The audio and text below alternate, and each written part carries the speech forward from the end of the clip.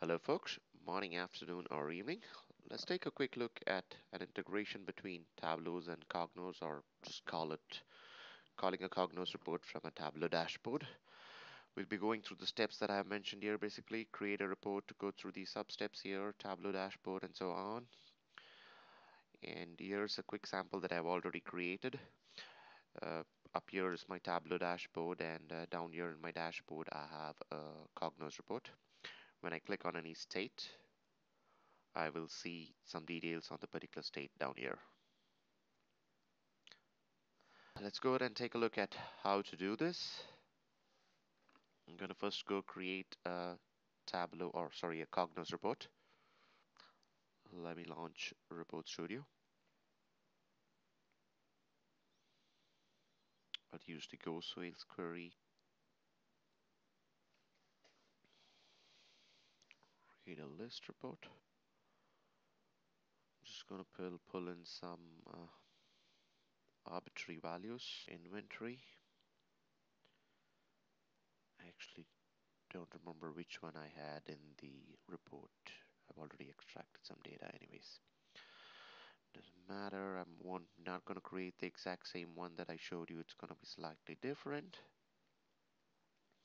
Let me go ahead and save this. Going to call it tab Cognos.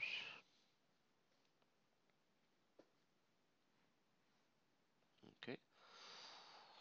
Actually, before I create the dashboard, let me go ahead and create a quick prompt for this report.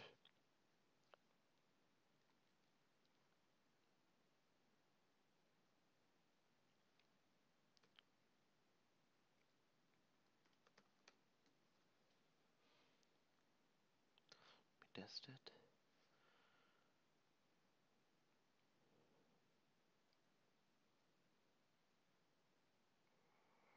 No errors.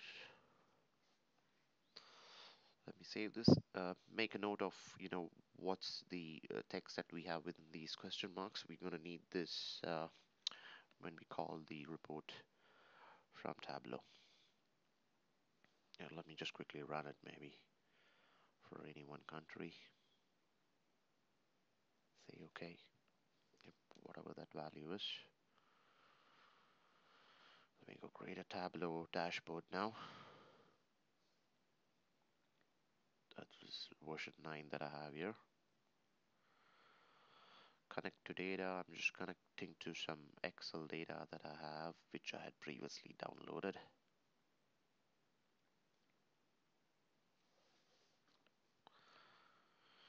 Okay, gonna go create a quick visualization.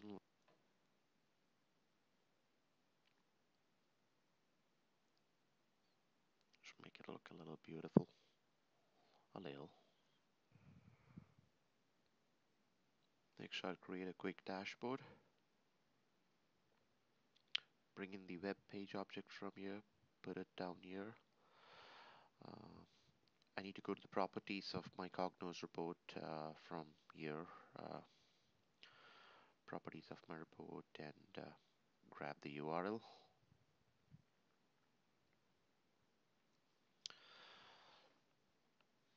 I'll just paste it. I've already done it. Paste it in my favorite text editor and uh, also paste it down here. There we go. It's uh, prompting for the country well there's probably no data for that particular country anyways. So here's the URL here's what we need to do next. Couple of things. Go to the end of your URL you see where it says prompt equal to true. Make it false. And uh, now you need to pass the value from uh, Tableau to Cognos. For that what you need to do is uh, remember I had earlier told you that you need to remember the name of the parameter or the prompt the name was country and you need to append p underscore to it. And the syntax of passing it is uh, you know ampersand or you know that's just to add on to the URL ampersand. P country and then a year in XML code you would pass on select choices select option. Here I have hard coded it to USA uh, but instead of that you should use country which in my case is the uh, name of the variable or whatever it's called in Tableau country And another thing you need to do is, you know, uh, uh, do the URL encoding for your, uh, you know, for the country option that you're passing along. Once that's done, you paste it back towards the uh, end of your URL. I have got it here already. Just paste it towards the end here and uh,